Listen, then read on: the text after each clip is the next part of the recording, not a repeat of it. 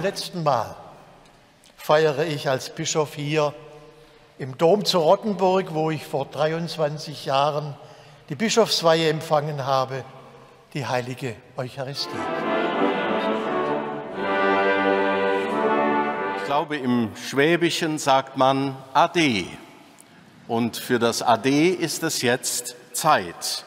Es ist jetzt ein Ade an dich, lieber Bischof Gebhardt, wenn heute eine Ära von fast einem Vierteljahrhundert hier im Bistum Rottenburg-Stuttgart zu Ende geht.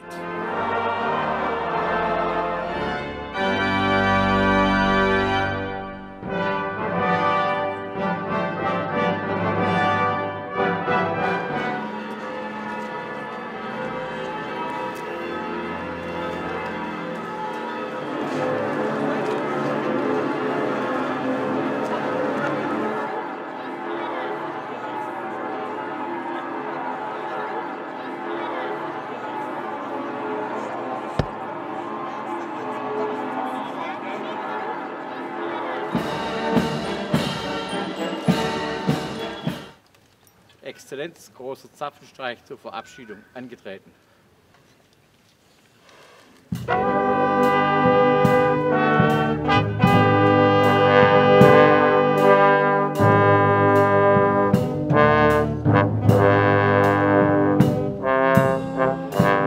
Bischof Dr. Fürst zum Ehrenbürger der Stadt Rottenburg zu ernennen.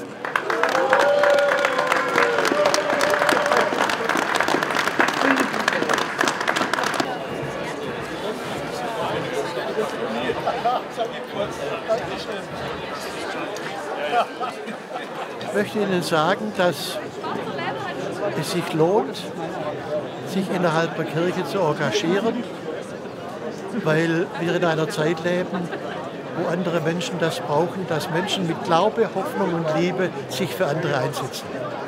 Ja. Ja, danke schön. Schön, dass du auch jetzt im Wohlstand bist. Wie gesagt, auf dem Studium ja 1973, also vor 50 Jahren, habe ich ähm, das Studium begonnen und damals war Gebhard Fürst im siebten Semester. Ich war im ersten und da gab es schon Begegnungen. Also ich schätze ihn sehr und bin sehr froh, dass er so lange unser Bischof war. Ne? Wenn wir jetzt im Gottesdienst noch mal gehört haben, in wie vielen Kommissionen er mitgearbeitet hat, gut mitgearbeitet hat, engagiert, neue Impulse gesetzt hat, dann war das auch mit viel Verantwortung verbunden. Und ich wünsche ihm, dass er diese Verantwortung jetzt fallen lassen kann. Ich kenne ihn noch als Akademiedirektor und da war er, wie gesagt, für damalige Verhältnisse sehr fortschrittlich und äh, war eigentlich auch so ein bisschen so mein, meine Traumfigur als Bischof und war dann auch nicht sonderlich überrascht, als es wurde. Hat mich sehr gefreut.